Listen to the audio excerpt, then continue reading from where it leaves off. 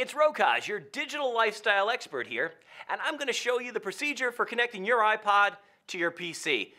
It's easy and straightforward. Here's what you need. You need an iPod connection cable like this. One side is going to be for the iPod, the skinny flat one, and the other one, the USB side, is going to be for the computer. Now, we've got our iPod set up here on a little iPod stand. This connector here at the bottom is exactly the same as the one underneath the iPod.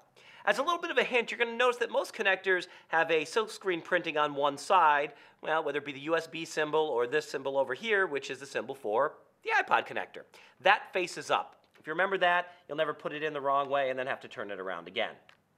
So we simply place it in there, the iPod connecting first, and then the USB into the USB port on your computer. That's all it takes. Okay. Now you're saying, well, I don't have a cradle. Let me show you again without the cradle.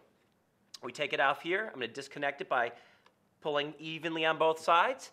The bottom, looking to make sure it's up, and we simply place it in here, and she's ready to go.